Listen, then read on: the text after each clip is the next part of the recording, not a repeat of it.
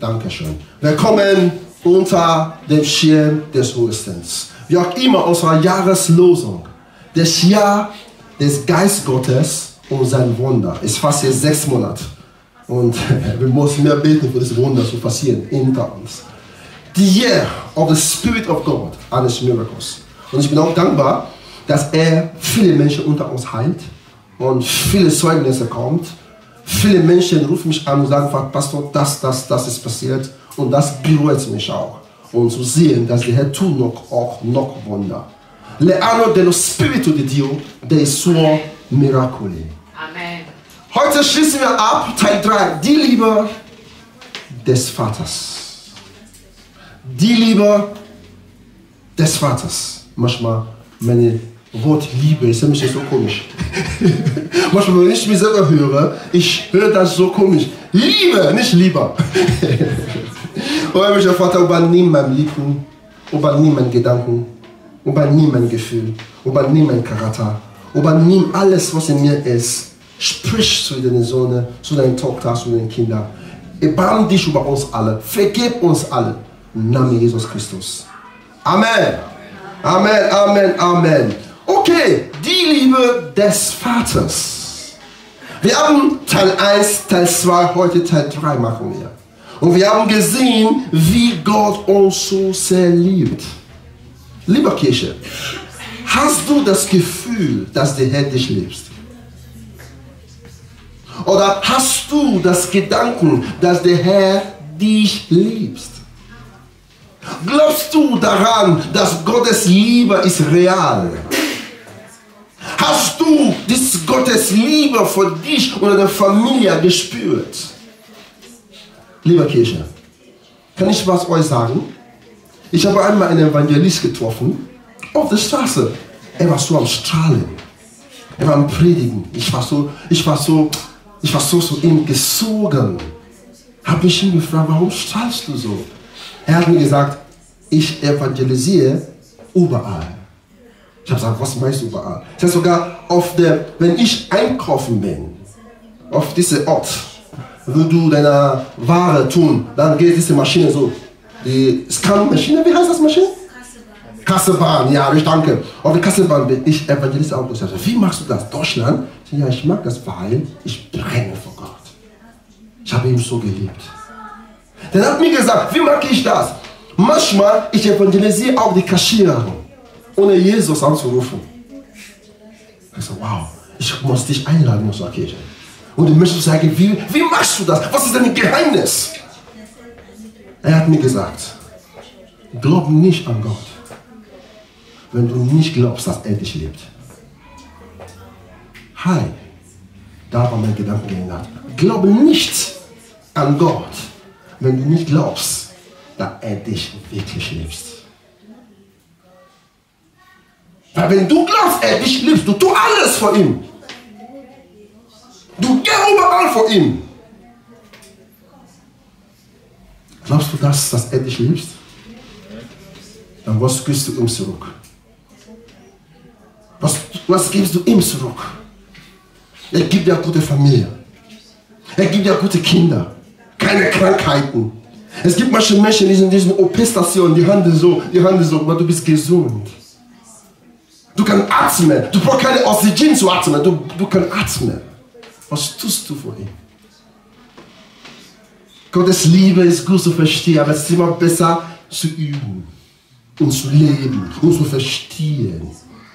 Und der Bibel hat uns gesagt, der Herr hat die Welt so sehr geliebt. So sehr der Herr liebt dich. Der Herr liebt uns. Oh, Jesus Christus. Kannst du Liebe wachsen? Und diese Liebe Amen.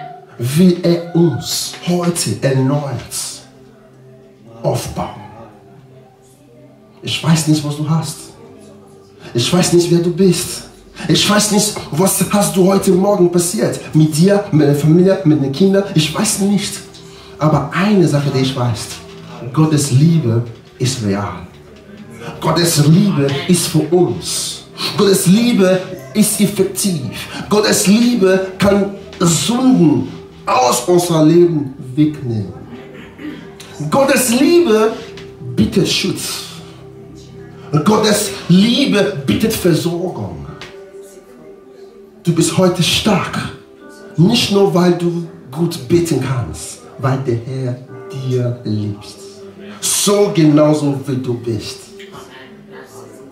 Es gibt einen Grund, Gott zu sagen, danke. Es gibt Millionen von Gründen. Deswegen eine, eine, eine, Singer, Tom, ich glaube Tom, wie heißt nochmal Tom? Der war in Deutschland. In Deutschland. Er hat gesagt, 10.000 Grund gibst du mir davor. Komm mal loben dir, meine Seele singt. Bitte die Grund. Du, kann, du kannst das machen, wenn du, Chris Tomline heißt er, wenn du wirklich seine Liebe in dir spürst. Lieber Kirche, lass uns nicht lügen. Was du vor deinem Mann machen kannst, kannst du nicht von deinem Mann machen. Hallo? Heißt das nicht, du liebst nicht die Menschen. Aber die Liebe zu deinem Mann oder die Liebe zu deiner Frau ist besonders. Egal wie ich sage, ich liebe euch, ich liebe euch, aber es gibt aus einer Skala die Liebe von meiner Frau mehr. Du merkst das, du gibst sie. Du schenkst sie. Du, du gibst ihr Zeit. Liebst du Gott? Bitte. Spürst du auch seine Liebe? Der Herr möchte, dass wir diese Liebe spüren. Der Herr möchte, dass wir diese Liebe genießen. Der Herr möchte, dass wir nicht nur einfach über seine Liebe hören und danach nicht leben. Gottes Liebe ist nicht schwer. Es ist so einfach zu verstehen. Mama, Papa kann dich manchmal vergessen, aber Gott kann uns nie vergessen, weil er weiß, wir haben nur er als unsere Quelle. Er ist das Quelle des Lebens. Aus ihm kommt das Leben. Um dieses Leben zu haben, müssen wir auf ihn fokussieren. Halleluja. Ich gucke, wir machen weiter. Wir werden erstmal lesen, Roman, Kapitel 8, Vers 15. Wo wir das machen, ich muss etwas darüber sprechen, darüber nachzudenken, wer der Vater für mich wirklich ist. Darüber nachzudenken, wer der Vater für mich wirklich ist. Wer ist der Vater zu mir? Alberto, kennst du, wer unser himmlischer Vater zu dir ist? Peppe, kennst du, wer dein Vater zu dir ist im Himmel? Ist er jemand so weit oder jemand so nah? Was kannst du vor ihm tun? Kannst du vor ihm sterben? Roma Kapitel 8, Vers 15. Roma Kapitel 8, Vers 15. Möge der Herr sein Wort segnen. Roma Kapitel 8, Vers 15. Sind wir da? Ist auch auf der Tafel, aber wir können auch zusammen lesen. Da 15 steht geschrieben, O Herr, gib uns die Kraft, deine Liebe zu verstehen. Gib uns die Kraft, deine Liebe zu, wirklich zu genießen. Gib uns das Verständnis, das Liebe in uns zu haben. Mal, denn der Geist Gottes, den ihr empfangen habt, führt euch nicht in eine neue Sklaverei, in der ihr wieder Angst haben musstet. Er hat euch vielmehr zu Gottes Sohnen und Tochter gemacht. Jetzt können wir zu Gott kommen und zu ihm sagen, aber lieber Vater. Was hat er gesagt? Aber lieber Vater. Ist er der Vater? Oder deine Vorstellung ist, ja, ich weiß, Gott, Gott, Vater, es ist jemand, der irgendwo sitzt am Thron. Er ist das, aber mehr als das. Ich weiß, er will manchmal, ja, weißt du, wenn du böse magst, er wird dich zur Höhle schicken. Ich weiß, er will das nicht tun, wenn du mit ihm eine echte Verbindung führst. Unser Verständnis über unser Vater ist nur jemanden, der mich wartet auf mich, wenn ich Fehler mache. Um mich zu erinnern, oh, du hast gestern Fehler gemacht. Das ist nicht unser Vater. Das ist unser Gedanken, wer unser Vater sein soll. Aber das ist nicht unser Vater. Unser Vater wartet nicht, dass du Fehler machst. Wenn er so wollte, er konnte nicht den Heiligen Geist zu euch geben. Er hat uns den Heiligen Geist gegeben, weil er will, damit wir mit ihm eine echte Verbindung und Leben mit ihm teilen. Liebe Kirche, ich weiß nicht, was seine Vorstellung zum Vater ist. Ich weiß nicht, was ist für dich eine Vaterfigur. Wenn du noch nicht klar über was Vater ist, guck aus Teil 1, Teil 2 wieder. Ich glaube, da kannst du dich in eine neue Bahn führen. Wir sind wir hier, wie kann ich wirklich meinen Vater verstehen und lieben, wie er ist? Und der Bibel hat uns gesagt, er hat uns erstmal den Heiligen Geist gegeben. Und der Heilige Geist ist sein Geist. Das heißt, nur durch seinen Geist können wir ihn wirklich kennen und zurücklieben, wie er uns zuerst geliebt hat. Die Bibel hat uns gesagt, er hat uns zuerst geliebt. Und wir gucken nochmal, guck mal, das Wort, jetzt können wir zu Gott kommen und zu ihm sagen, aber lieber Vater. Das Wort aber ist ein aramäische Wort.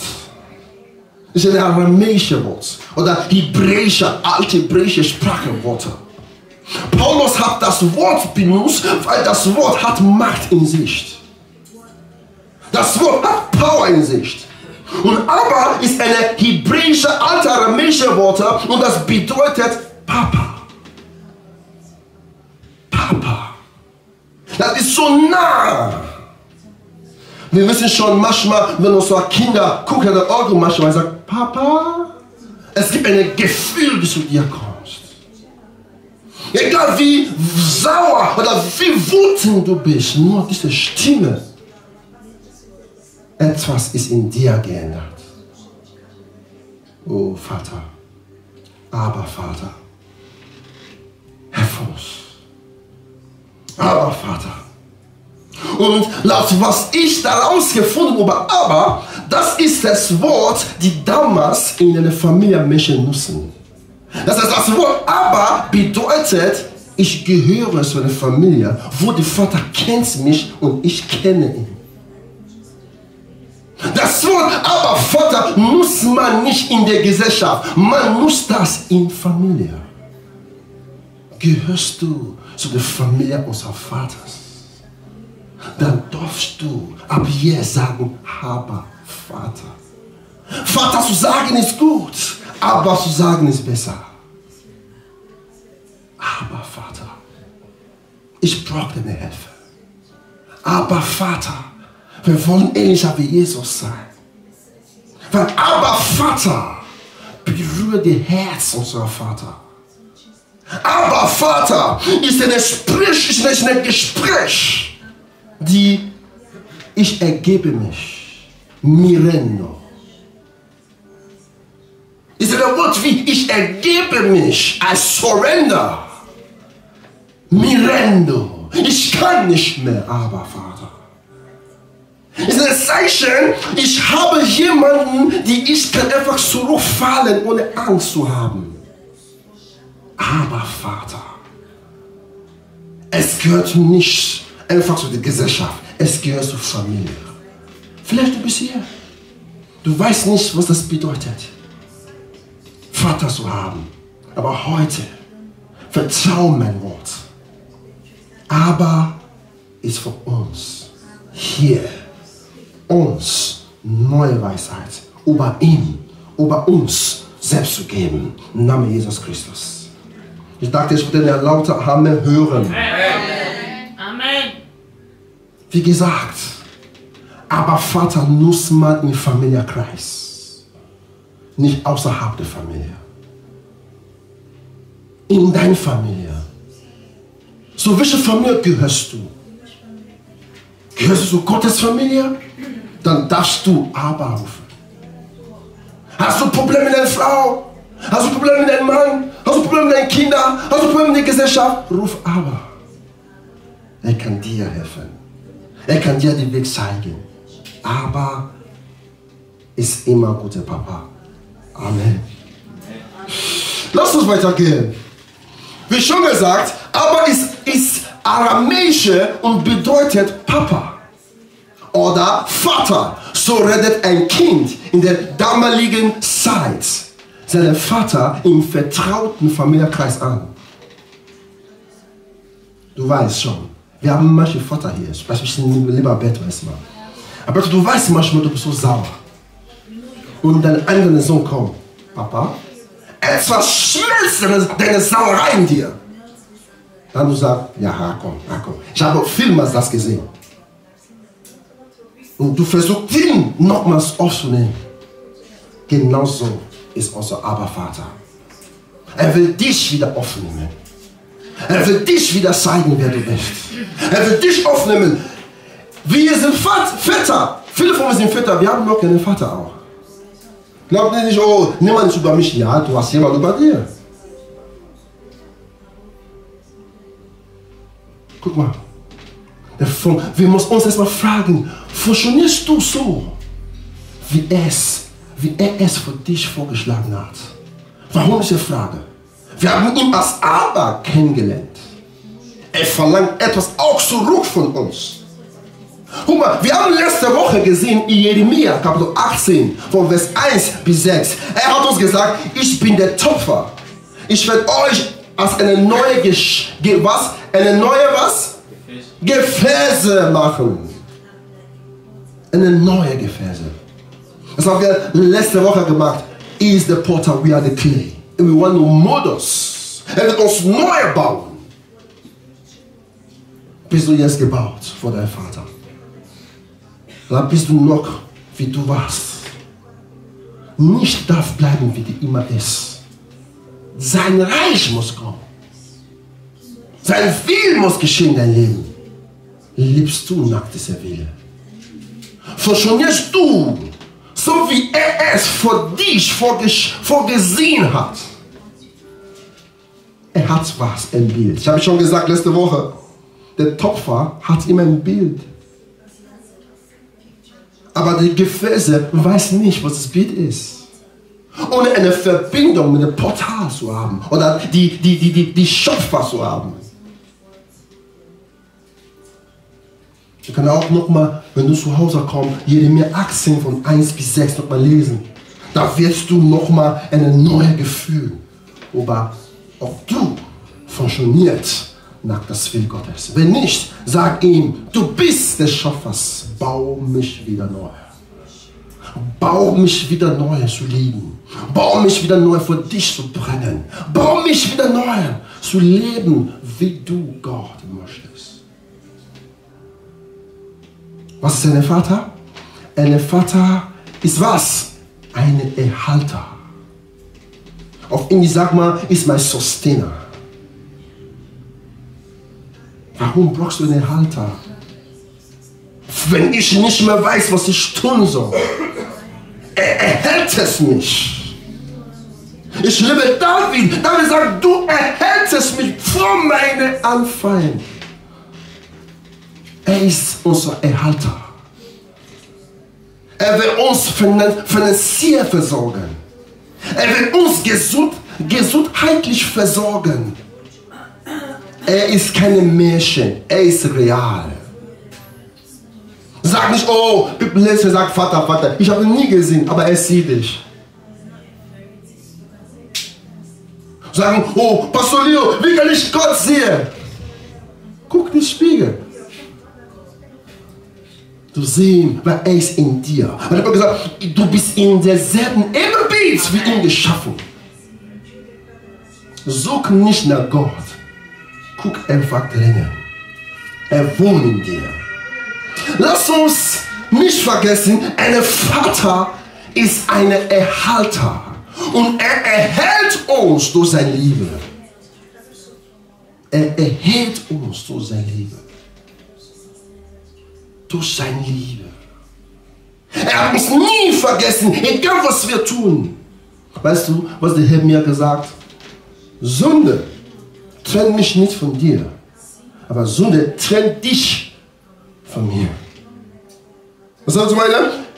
Sünde kann nicht wirklich, ich trenne mich nicht von dir, weil du sündest. Aber du bist diejenigen, die von mir wegrennen, weil du Sünde in dir hast. Weißt du, was ich meine? Du rennst von mir weg, weil du glaubst, du hast Sünde in dir. Es ist auch wie Adam. Adam, mein Freund, mein Sohn, wo bist du? Er hat sich versteckt. Gott ist nicht sauer, wenn du sündigst. Aber du bist das Problem, wenn du sündigst. Weil du fängst an, komische Gedanken zu haben. Gott hasse mich jetzt. Er hat gesagt, ich kann euch nicht hassen. Aber wenn du meine Liebe hast, du kannst sündigen. Du kannst das nicht. Aber wenn du tust, du musst auch den Preis bezahlen. Ich will dich auch vergeben. Ich muss euch vergeben. Gott ist nicht gegen dich. Er kann das nicht tun. Egal wie böse du bist, er liebt dich. Egal wie schwer du bist, die Mensch kann dich nicht verstehen. Er versteht dich. Das ist die Liebe des Vaters. Er gibt mir auf. Lass uns nach ihm rennen. Weißt du was? Wenn du zu Gott rennen, er rennt auch zu dir.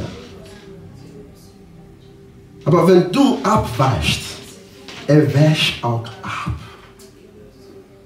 Oh, liebe Kirche. Wenn du ihn verstehst, dein Lauf als ein Christ wird so einfach. Verführung wird kommen. Probleme wird kommen. Dies versuch erstmal zu gucken, ob du weißt, wer du wirklich bist in deinem Vater. Dein Vater ist wie ein Behalter. Je mehr du in ihm bleibst, desto wächst du nach seiner Form. Wenn ich zum Beispiel, ich nehme dieses Öl, ich tue einen Fisch drin, Fisch, wer kennt Fisch? Ich tue den Fisch hier rein mit Wasser. Weißt du, egal was man Gebet ich mache, der Fisch wird nicht wachsen als das Glas.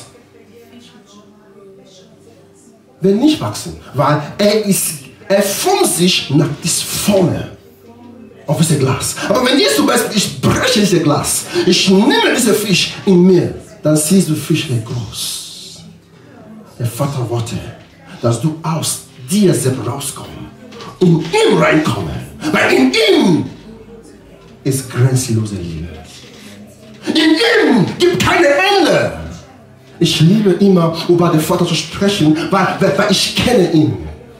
Er hat so viel für mich getan. Ich kann nicht meinen Mund zuhalten. Er hat so viel für mich ge gegeben, dass ich kann nicht mehr sagen, er hat nicht für mich getan. Wenn du ehrlich bist mit dir selbst, er hat dich so viel geschenkt. Wenn du ehrlich in dir selbst bist, er hat so viel gemacht. Oh, lieber Kirche. Das Vater liebt uns. Und seine Liebe ist keine Fantasie. Auf Englisch sagt man Fairy Tale. It's not a Fairy Tale. Ist etwas real. Er liebt dich wirklich. Sag dir selbst, der Herr liebt mich. Bitte Kirche, sag dir selbst, der Herr liebt mich. The Lord love me. The, Lord, the Lord love me. The Dio ti, Dio, Dio, Dio mi ami. Ama. Der Herr liebe mich. Ich bin so dankbar. Ich bin so dankbar davor. Oh, lieber Kirche. Herr Voss, Vater, das Liebe so wirklich zu verstehen. Lass uns gucken in Lukas, Kapitel 12, Vers 31 bis 32. Wenn du zu Hause kommst, kannst du weitermachen. 33, 34, kannst du später machen. Aber hier habe ich einen Fokus. Halleluja! Das ist, was ein Vater macht. Setzt euch viel mehr vor Gottes Reich ein. Dann wird er euch mit allen anderen versorgen. Du brauchst keine Angst zu haben, du kleine Herde. Denn dein Vater hat beschlossen, dir seine Königreich zu schenken. Oh Gott. Vielleicht hat er das verstanden. 32, das ist der Highlight. Du brauchst keine Angst zu haben. Du kleine Herde. Denn der Vater hat beschlossen, Entscheidungen schon getroffen, dir seine Königreich zu schenken. Und er will dir das teilen.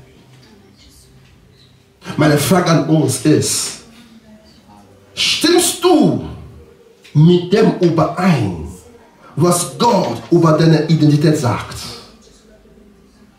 Ich wiederhole meine Frage. Stimmst du mit dem überein, was Gott über deine Identität sagt? Denkst du wie eine König oder eine Königin? Auf Englisch sagt man, denkst, do you think royalty? Do you think royalty? Das Problem ist, wir versuchen uns physisch zu messen.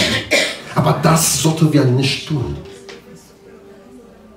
Du bist und du musst wie eine Königin und ein König denken.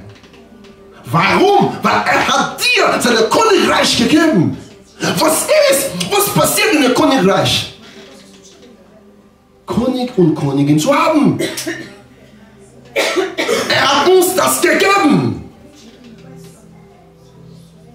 Er hat dir sein Königreich geschenkt. Denkst du, wie ein König oder eine Königin? Auf Englisch, do you think royalty? Wir sind das, was er sagt. Wir sind das, was er sagt. Liebst du wie eine himmlische Botschaft hier auf der Erde? Guck mal, guck mal, wenn wir eine Botschafter, Beispiel Deutschland, ne, hat eine Botschaft, eine Botschafter oder ist eine Frau, ist eine Botschafterin in Nigeria. Weißt du, was passiert in Nigeria? Passiert nicht mit ihr?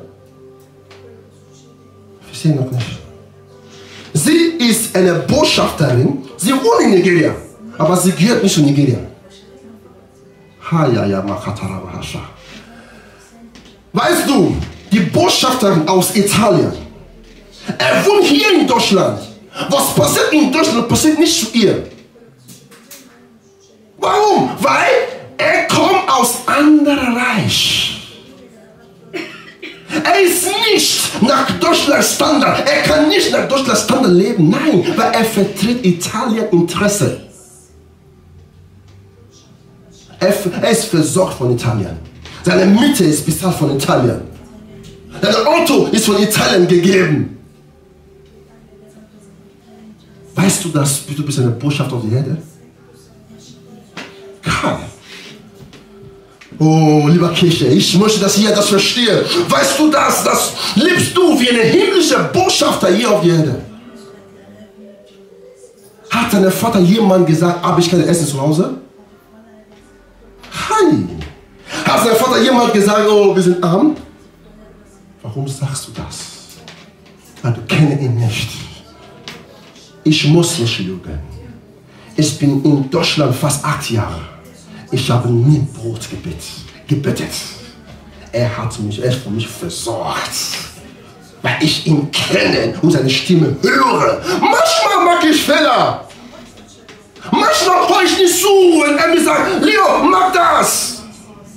Aber ich gehe zu ihm. Aber Vater, wenn du gegen mich bist, ich bin fertig. Liebe Kirche, du musst deine Identität verstehen.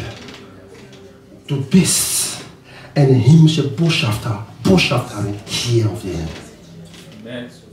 Oh Gott, ihr versteht das nicht. Ihr könnt das nicht glauben, weil ihr denkt nicht wie ein König. Ihr denkt nicht wie ein Königin.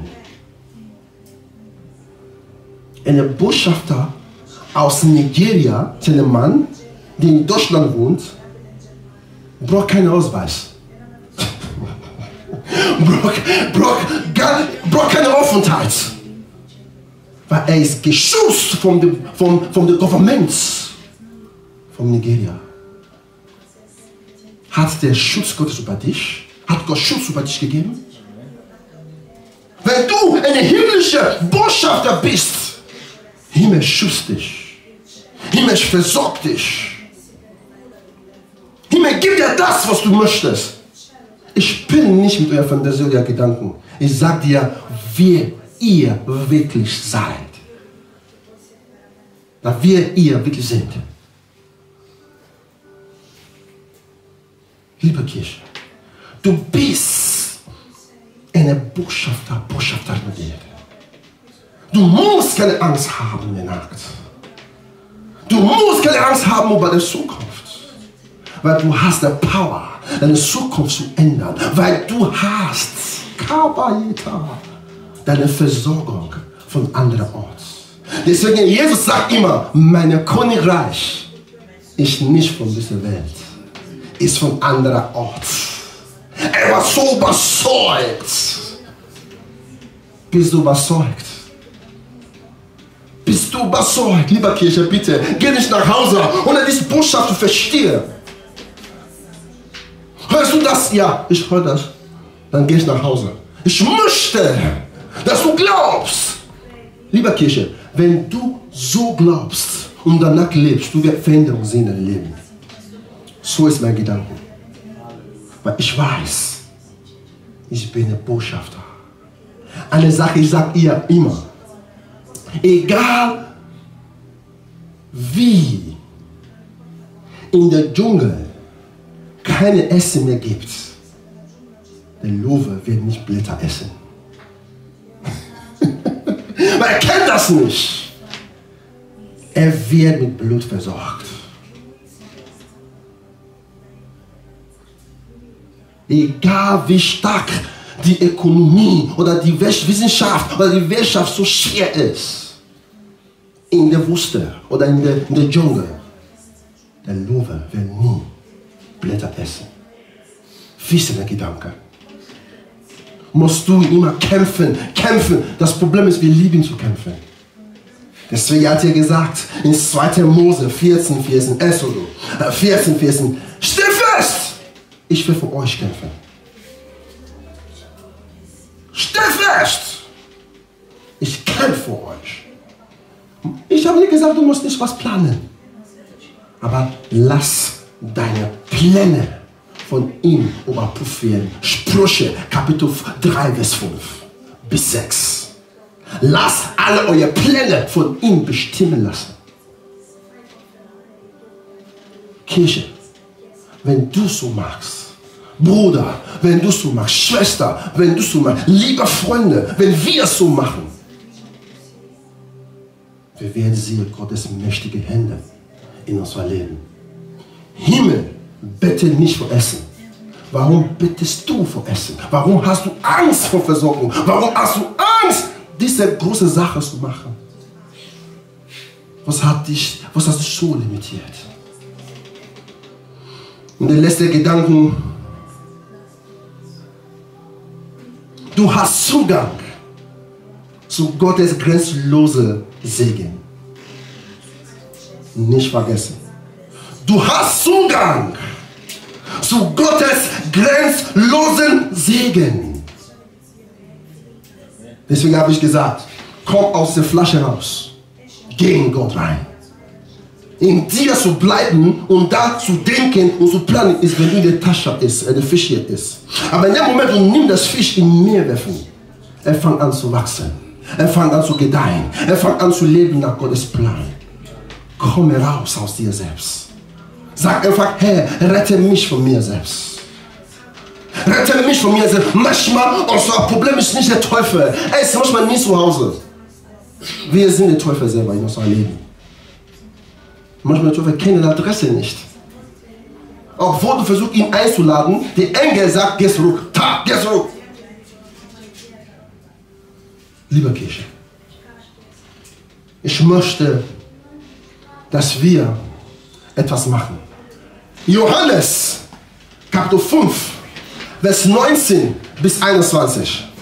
Johannes, Kapitel 5, Vers 19 bis 21. Johannes, Vers 19 bis 21. Sind wir da?